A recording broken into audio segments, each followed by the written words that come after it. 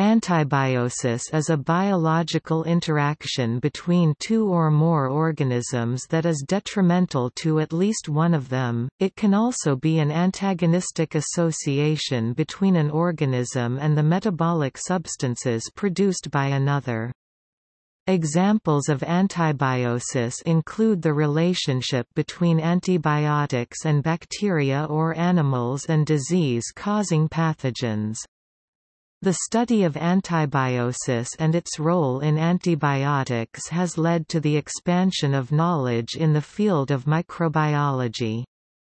Molecular processes such cell wall synthesis and recycling, for example, have become better understood through the study of how antibiotics affect beta-lactam development through the antibiosis relationship and interaction of the particular drugs with the bacteria subjected to the compound. Antibiosis is typically studied in host plant populations and extends to the insects which feed upon them.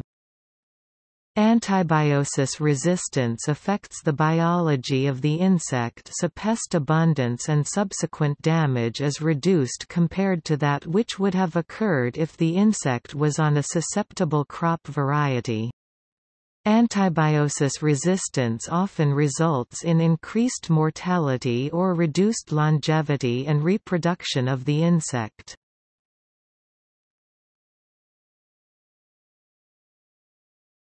Topic. See also Antibiotic Biological pest control Biotechnology Symbiosis